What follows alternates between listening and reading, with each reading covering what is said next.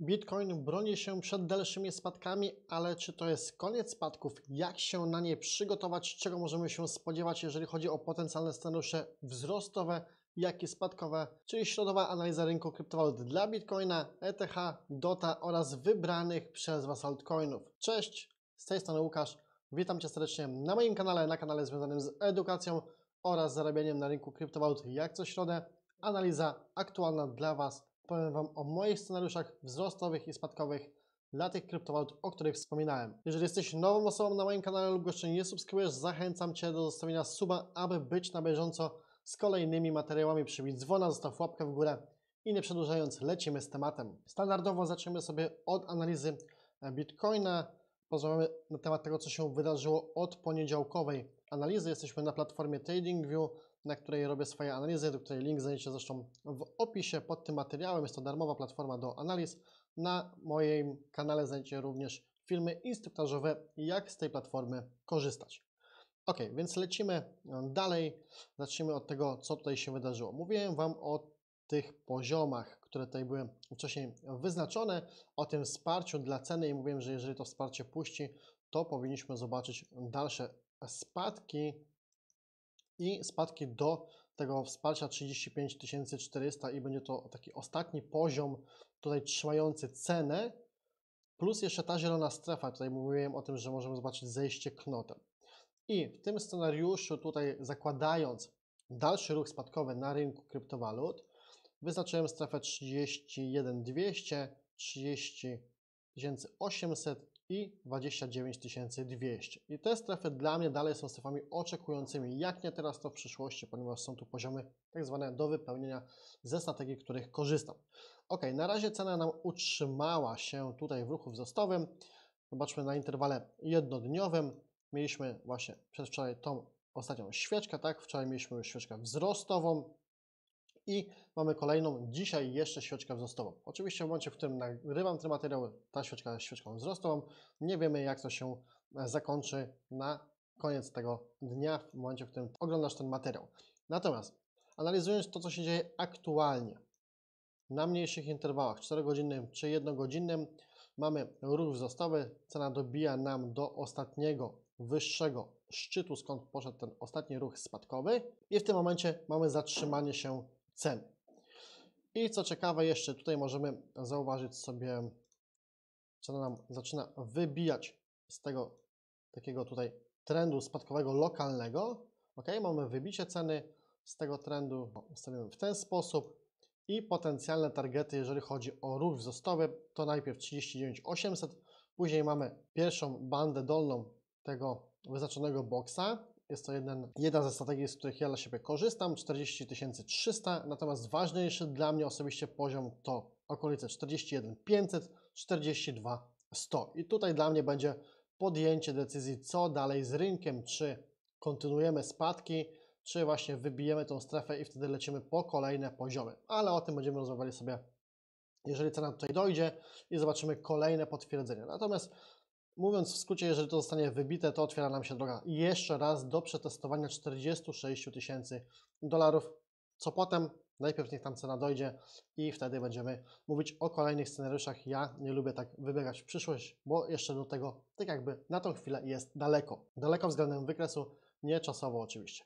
I patrząc z punktu widzenia tego, co widzimy aktualnie, tutaj mamy, tutaj mamy wyznaczoną strefę, którą ja sobie wyznaczyłem, trzymającą cenę na wzrost. Stąd będę zagrywał pozycję długą. Oczywiście pamiętajcie, że to, co słyszycie, to nie są porady inwestycyjne. Wszystko to, co słyszycie, to sobie tylko i wyłącznie moja opinia. Każdy z Was decyduje za siebie. Dlatego tak Wam często mówię o edukacji, o tym, jak to jest istotne, aby podejmować słuszne decyzje, aby wiedzieć, dlaczego podejmujesz jakąś decyzję i aby mieć na nią plan, ponieważ co z tego, że wejdziesz w pozycję tak jak często mi piszecie gdzieś na czuja, jak nie wiecie, co dalej z tą pozycją zrobić, się mnie pytacie, a gdzie to zamknąć, a gdzie ustawić stop lossa, co teraz mam zrobić, bo cena zawraca, bo cena robi taką świeczkę, bo są dwie świeczki takie. Słuchajcie, po to jest ta edukacja, po to, abyście wiedzieli i podejmowali sami za siebie słuszne dla Was decyzje. I jeżeli chodzi o potencjalny scenariusz dalszy, wzrostowy, no to możemy mieć retest tej linii trendu spadkowego lokalnej plus ta strefa trzyma cenę na wzrost. W sytuacji, w której cena nam wróci znowu do tego wsparcia dla ceny tutaj, tego szarego boksa,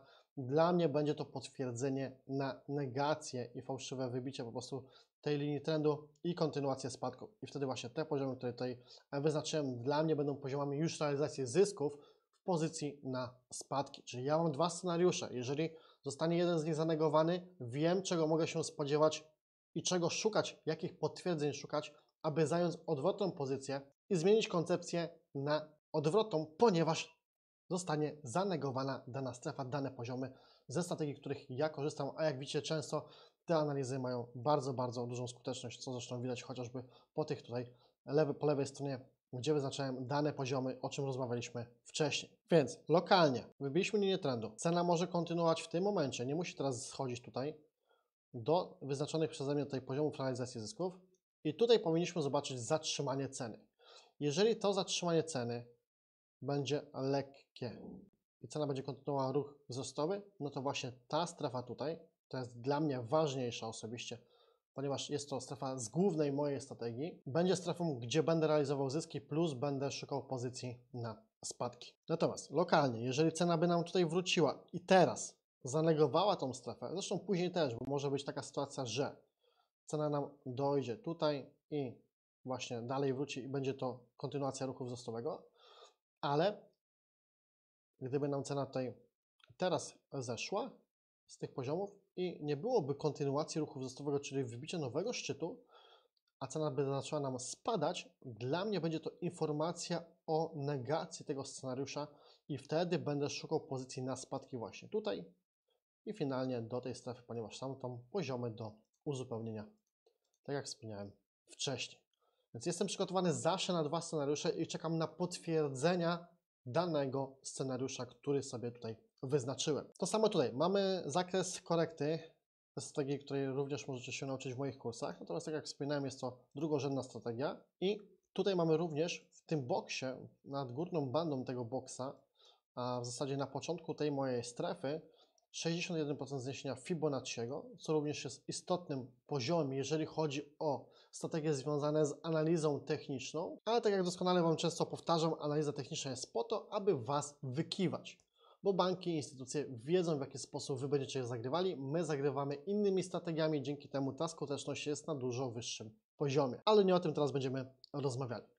Więc tak jak wspomniałem, są to dwie strefy, w których będę szukał potwierdzeń na zawarcie pozycji krótkiej. ok?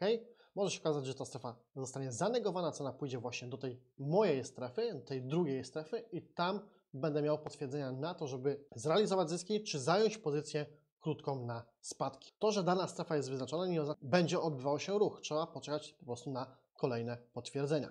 Więc lokalnie chyba mamy to omówione. W tym momencie strefa trzymająca cenę na wzrosty, powrót ceny do szarego boksa jest dla mnie potwierdzeniem na kontynuację spadków do wyznaczonych poziomów TP tutaj na shorta, tych zielonych.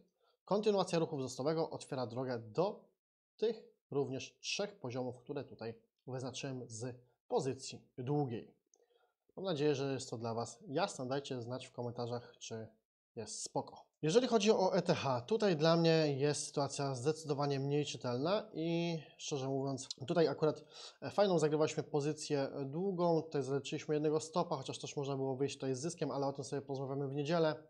Była też wczoraj właśnie taka niewiadoma dla rynku, więc też zamknęliśmy pozycję w zysku. Cena poszła dużo wyżej, zysk by był też dużo większy, no ale niestety. Ale najważniejsze, że zysk to zysk, chociaż mimo wszystko troszkę szkoda, że to poszło.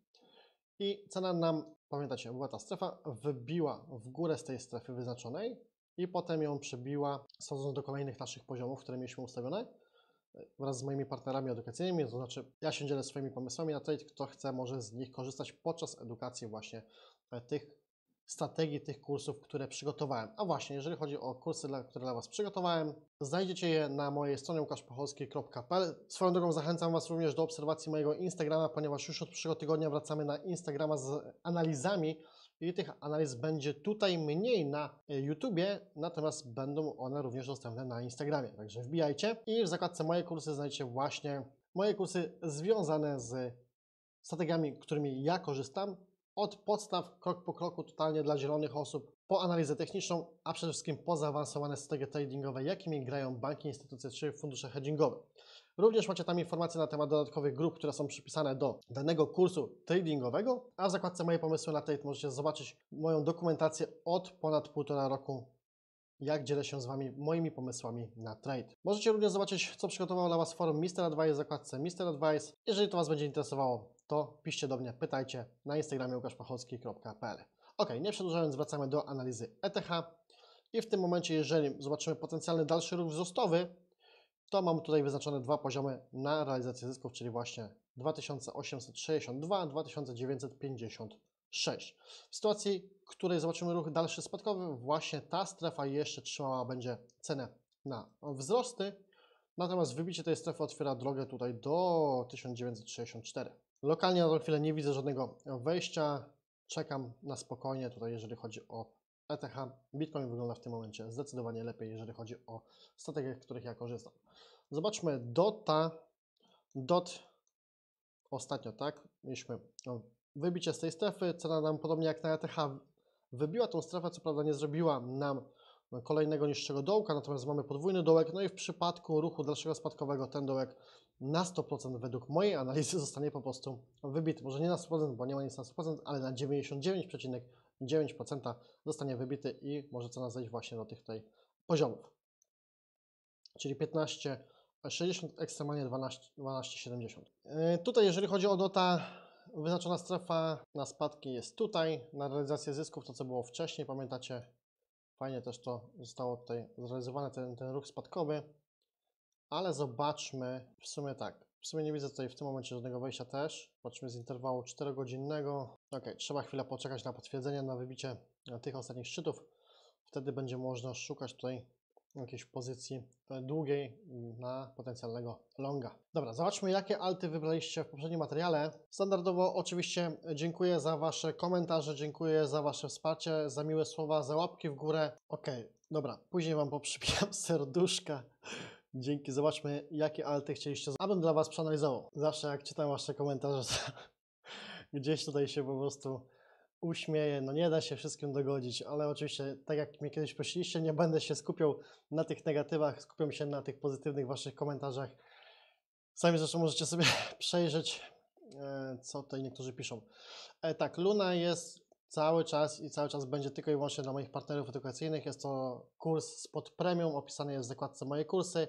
SNX, ok, SNX, słuchajcie, SNX zrobimy sobie, to jest prośba o to, XRP, dobrze, XRP i Cake, bo w sumie dawno nie było.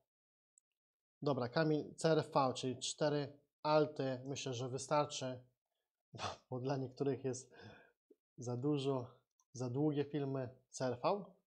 Tak, CRV, tak? Miało być CRV. Dobra. Zobaczmy sobie. Tutaj była kiedyś dla Was analiza CRV. E, to wrzucałem Wam w styczniu. Dla Was albo dla moich partnerów edukacyjnych. Nie, dla moich partnerów edukacyjnych. E, była CRV, tutaj było wejście i teraz tak, jeżeli chodzi o, dobra, CRV, to widzę fajne potencjalne wejście na longa, gdyby rynek tam dalej schodził. E, przy ekstremalnym ruchu spadkowym okolica 1,40, a przy aktualnym takim jeszcze małym zejściu może być właśnie okolice 2 dolarów. Swoją drogą ustawię sobie alert. I tak, jeżeli chodzi o potencjalną realizację zysków, jeżeli ktoś by kupował teraz na niższych poziomach, to widzę tutaj spoko poziom. No i później to już właśnie dopiero w tych okolicach, tak? Czyli mamy 3.1.6 i 4.1.5. Jakby cena stąd tutaj spadła, dalej spadła, to również ten poziom będzie poziomem realizacji zysków. To jeszcze troszeczkę niżej ustawiłbym tutaj. OK, XRP, XRP. Zobaczmy, co tutaj się wydarzyło. OK, zobaczmy. E, wyznaczona strefa na wzrosty, to pewnie dla Was też była jakiś czas temu i widzimy, że był, odbył się stąd ruch wzrostowy, więc zostało to zrealizowane. Około 15% można by było tutaj wyciągnąć. Wyznaczyłem również ten niższy poziom tutaj, no i widzimy, że cena również tam fajnie z tego poziomu odbiła, ok? To są to jakieś duże kwoty, patrząc na w perspektywie tutaj oczywiście 100, 300 czy milionów procent, jakie rynek dawał, natomiast mamy tutaj reakcję i jakby nie było, można by tutaj na tym zarobić, jeżeli ktoś by to zagrywał. Kolejny poziom, w dalszych spadkach, no to mamy tutaj 1, e, 0,62, 0,628, 0,612, czyli te dwa poziomy przy ewentualnym dalszym ruchu spadkowym. Dobra, SNX i chyba miałem ostatnio zrobić tego Chiliza dla Shimiego, tutaj widzę, nie zrobiłem. Ok, tu było kiedyś wejście. O kurczaki pieczone. A, to było dawno. W listopadzie 2020 robiłem taką analizę, zobaczcie. To jeszcze wcześniej musiała być tam zarobiona, gdzieś w wrzesień 20 roku. Ja pierdzielę. Masakra. 900% można było na tym wziąć. To była moja analiza. Tylko właśnie nie wiem, czy tutaj na YouTube, czy dla moich partnerów, ale chyba na YouTube, bo jeszcze wtedy nie robiłem dla moich partnerów analiz. Dobra, i więc tak. e, Poziom realizacji zysków potencjalny. Więc pierwszy poziom to 2,70, a ekstremalne spadki okolice 2 dolarów. Tutaj mamy poziom realizacji zysków z potencjalnego longa, no i tak by to wyglądało. Czyli mamy około 50%. Gdyby cena nam stąd szła w górę, przy kolejnym ruchu spadkowym właśnie te dwa tutaj poziomy. Dobra, i Chilis dla tych, co są zapakowani w pozycję. Ok, widzę, że tak. e, Kiedy to było dwa tygodnie temu, cena osiągnęła wyznaczony poziom realizacji zysków z tych wejść, które były tutaj wcześniej. Ok. To później trochę oczyścić. W dalsze spadki te dwa poziomy dalej trzymają. No a teraz taki poziom realizacji zysków lokalny, no to czy to mamy ogarnięte, a potencjalne kolejne tutaj. Ok, to by było na tyle. Jeżeli była tutaj dla Was wartość, pamiętajcie co robić. Zostawcie komentarz, łapkę w górę. Do zobaczenia, do usłyszenia i widzimy się w piątek. Także miłego tygodnia. Niech Bitcoin będzie z Wami. Piona.